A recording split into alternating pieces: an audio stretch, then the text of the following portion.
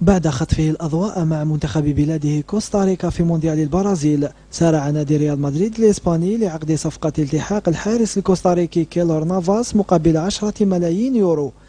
النادي الملكي وحسب صحيفة ماركا الإسبانية دفع قيمة الشرط الجزائي لفسخ تعاقد نافاس مع ناديه الإسباني ليفانتي أكبر المتضررين من التحاق نافاس دون شك سيكون دييغو لوبيز الذي تقول بشأنه التقارير أن الريال يبحث له عن أرضية اتفاق مع الأندية التي طلبت خدماته في صورة موناكو الفرنسي ونابولي الإيطالي.